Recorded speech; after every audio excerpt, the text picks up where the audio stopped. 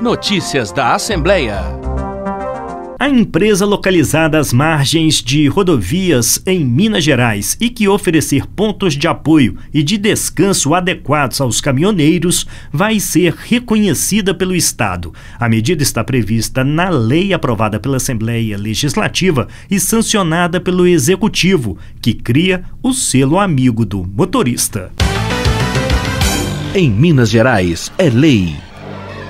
A Lei 24.980 de 2024 tem como base proposta de autoria da deputada Maria Clara Marra, do PSDB. Segundo o texto, para receber o selo amigo do motorista, a empresa deverá oferecer aos caminhoneiros áreas de descanso com infraestrutura adequada, incluindo banheiros, chuveiros e espaço para alimentação. O estacionamento deverá ser seguro e acessível para caminhões, respeitando as regulamentações de trânsito. Também devem ser disponibilizadas área de manutenção básica para os veículos, incluindo troca de óleo e calibração de pneus, informações sobre serviços de assistência médica, mecânica e de segurança nas proximidades e sinalização adequada para orientar os caminhoneiros. A forma e os critérios de concessão do selo amigo do motorista são estabelecidos em regulamento pelo executivo. O selo tem validade de dois anos